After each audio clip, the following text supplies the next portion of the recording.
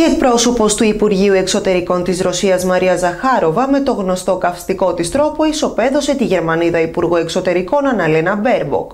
Η Μπέρμποκ έκανε γεωγραφική γκάφα κολοσσιαίων διαστάσεων, παρόμοια με αυτή που είχε κάνει στο παρελθόν η πρώην Βρετανίδα Πρωθυπουργός και Υπουργός Εξωτερικών Λιζ Τρας. Η Γερμανίδα Υπουργός Εξωτερικών είπε πως η Ρωσία απέχει εκατοντάδες χιλιάδες χιλιόμετρα από τη Γερμανία με τη Μαρία Ζαχόροβα να την αποκαλεί αγράμματη λόγω του εξωφρενικού λάθους. Η εκπρόσωπος του Υπουργείου Εξωτερικών της Ρωσίας της απάντησε ότι η περίμετρος του Ισημερινού είναι περίπου 40.000 χιλιόμετρα. Η σελήνη απέχει 400.000 χιλιόμετρα, οπότε πιθανότατα αναφέρεται στη σελήνη.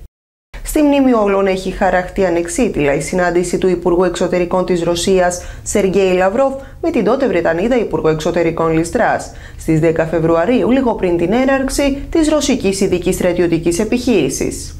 Τότε ο Ρώσος Υπουργός Εξωτερικών είχε πει για τη Βρετανίδα Πρωθυπουργό ότι αρνείται να ακούσει.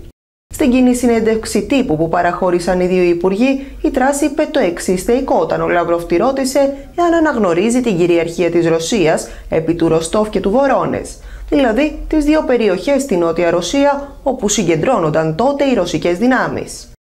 Η Τρας απάντησε ότι η Βρετανία δεν θα τις αναγνωρίσει ποτέ ως ρωσικές και τότε επενέβη ο Βρετανός πρεσβευτής για να τη διορθώσει.